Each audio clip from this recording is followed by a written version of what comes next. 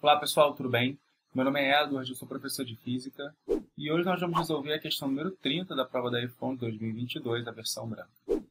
Considere uma pequena esfera de massa meio quilograma e carga elétrica desconhecida.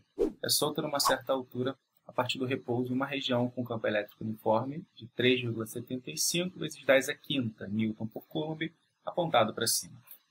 Nessa situação, a esfera leva o dobro do tempo que levaria sem o campo elétrico para atingir o solo. Desconsiderando quaisquer efeitos devido à resistência do ar, qual é a carga elétrica da esfera? Então vamos lá, vamos primeiro começar determinando se a esfera é positiva ou negativa. Então, ela vai partir daqui, ela leva um certo tempo para percorrer essa altura a gente vai chamar de H.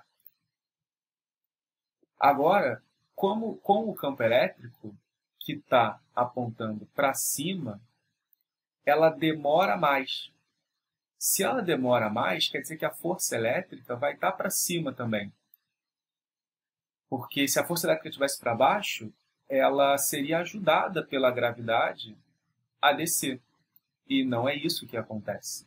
Por isso, eu posso garantir que o campo elétrico, que a força elétrica estando para cima, a carga elétrica vai ser positiva.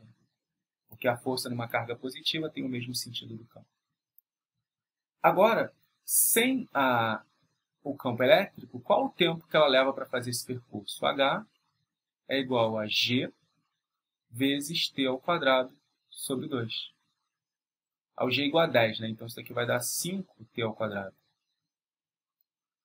Agora, a mesma altura é feita com uma nova aceleração, que a gente vai chamar de A, só que o dobro do tempo, sobre 2.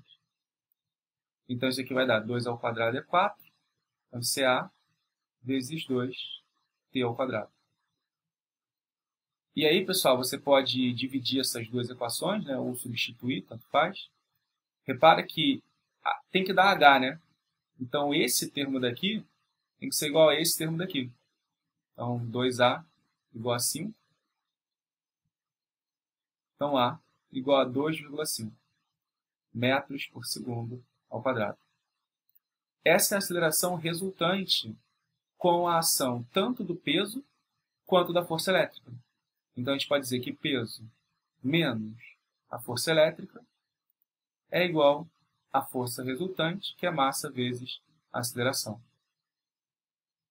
o peso é mg, então 0,5 vezes 10, menos a força elétrica, que é Q vezes E, 3,75 vezes 10 a quinta, é igual a M vezes A, que é 0,5 vezes 2,5.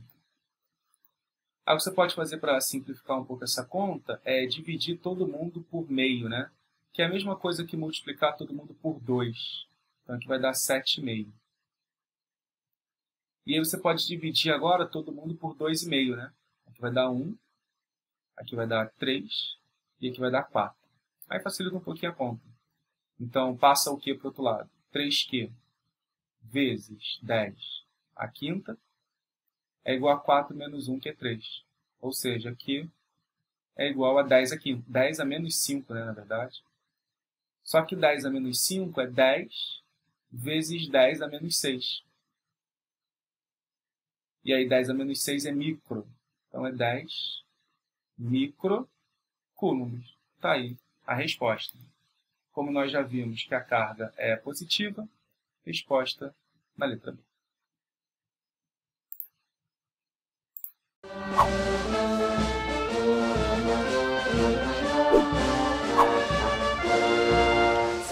Imaginação brasileira.